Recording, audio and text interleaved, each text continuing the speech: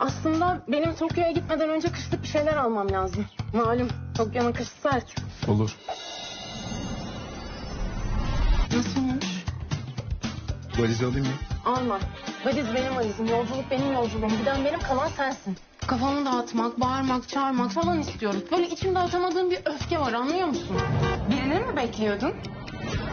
İki buçuk dakika sonra bu araba o adanın görmüş olduğu en büyük eğlenceyi yaşamak için yola çıkacak.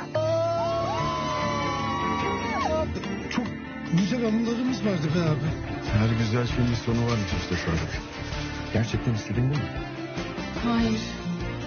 Ben seni istiyorum. İskeleye mi abla? Evet bir dakika bekleyebilir miyiz? Birini bekliyorum da.